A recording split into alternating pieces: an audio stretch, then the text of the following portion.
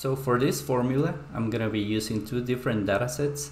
In the first one, I have the code of a customer, I have its sales, and I have the customer name. So I'm gonna be bringing this name from this other workbook where I have the codes of customers and their names. I wanna know the names of all the customers in this database. So the first thing I need to do is to type in the equal sign and then I'm gonna be typing v lookup I'm gonna open up the parentheses.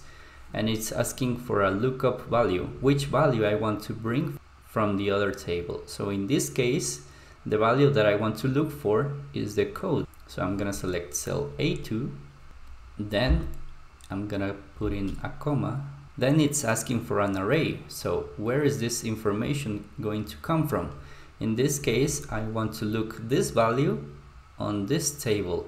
So I'm gonna be selecting here from cell A1 down to cell B12 because this is where the code is located.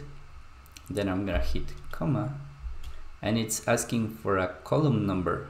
It's asking for the number of the column where the information that I need is located. So in this case, I have column A which is the first column. And then what I need is column 2, where the customer name is located. So I'm gonna type in here 2, okay. And then it's asking for an approximate match or an exact match. So I'm gonna type false in this case. And I'm gonna close my parentheses. And I'm gonna hit enter. So as you can see, uh, the formula is working now it looked for this value down on the other database. So it looked for this number and it found it right here. So it brought up the name of the customer that in this case it's Jimi Hendrix.